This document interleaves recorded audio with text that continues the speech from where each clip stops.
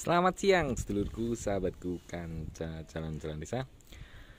Siang hari ini Amin sedang berada di depan kantor desa Tunggoro teman-teman. Wah subhanallah. Cuaca yang sangat cerah teman-teman.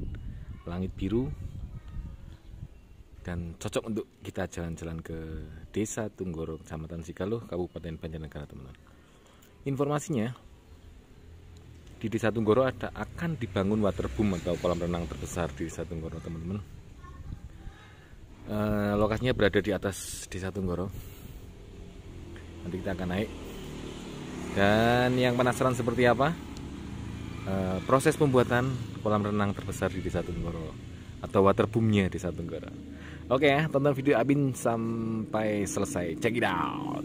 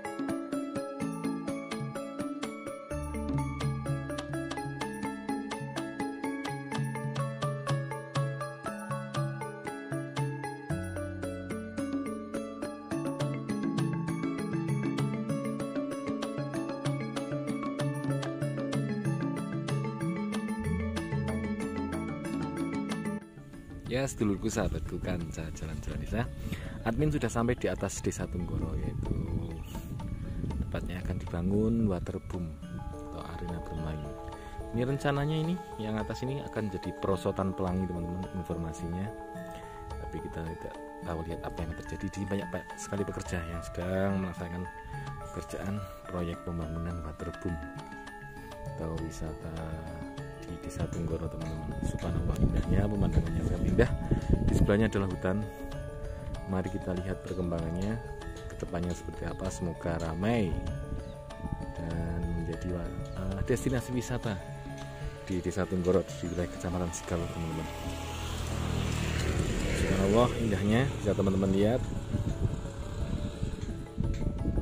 Ini proses tahap pembuatan jadi perkiraan tahun depan ya Insya Allah sudah bisa dipakai. Kalau ini cepat lebih cepat. Ini di pinggir jalan raya Tunggoro ke Kalikuta atau bisa ke Desa Gambaran Kecamatan Kalirowo sobat teman-teman.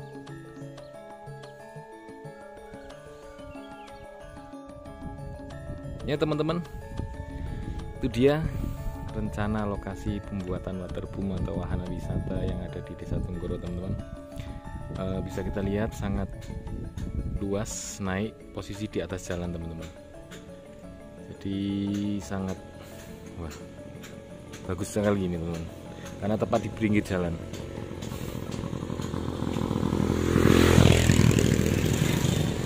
Oke terima kasih yang sudah menonton video jalan jalan. Nanti perkembangan kita akan melihat ke atas. Nanti sudah ada proses pembuatan yang lebih. Ini baru aja pengerukan tanah dan pengukuran. Jadi sangat kurang bagus kalau kita naik tapi rencana ke depan satu bulan ke depan kita akan melihat perkembangan bagaimana pembuatan waterboomnya di desa Tunggoro. Terima kasih yang sudah menonton video admin Jalan Jalan Jangan lupa like, share, komen, bagian teman kalian agar mengetahui notifikasi terbaru dari admin Jalan Jalan Jangan lupa tekan tombol lonceng di bagian atas. Terima kasih. Assalamualaikum warahmatullahi wabarakatuh. Dadah.